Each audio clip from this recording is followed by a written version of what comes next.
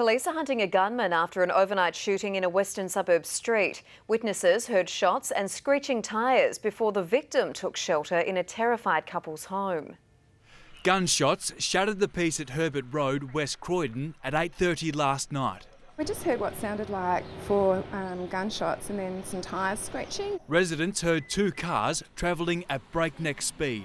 He's doing about 110 or something, I reckon. Screeching to a halt in the middle of the street, a man flees, sprinting up a driveway, jumping a fence and smashing through a cattery owned by Terry Batsiokis. This person just appeared at our window, um, distressed and wanting to come in, um, saying that he thought he'd been shot.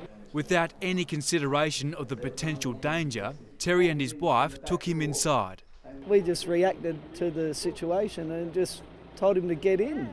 The man hadn't been shot, but with the gunman still on the loose, the couple told him to drop to the ground, close their blinds, turned off their lights, and called police, who found two gunshot shells in the street.